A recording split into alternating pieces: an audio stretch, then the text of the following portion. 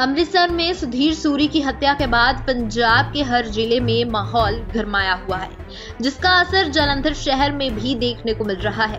बता दें कि अमृतसर में सुधीर सूरी की हत्या के विरोध में जालंधर में शिवसेना समर्थकों ने अमृतसर के पुलिस कमिश्नर अरुणपाल सिंह के खिलाफ जोरदार प्रदर्शन किया जा रहा है।